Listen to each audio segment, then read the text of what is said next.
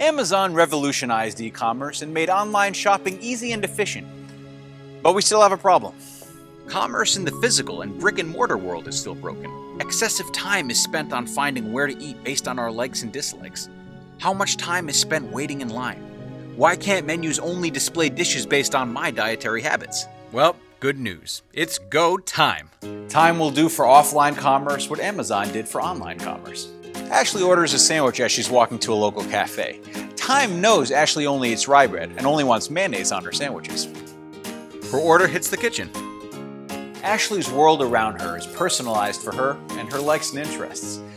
Now Doug wants to order takeout for him and his girlfriend on the way home from work.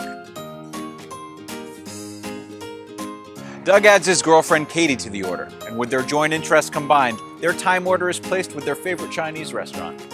Doug and Katie's world around them is personalized for their likes and interests. Tyme. Save your most precious asset and live a better and more personalized life.